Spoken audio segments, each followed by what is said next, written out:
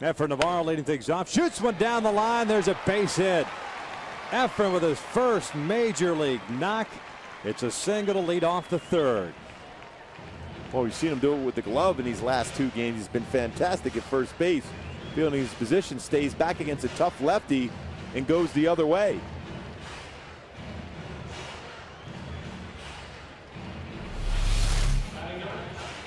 Fastball away. That's a pretty good piece of hitting. Yep. Staying back with your hands, hitting the ball hard by Beltre at third base for your first career major league hit.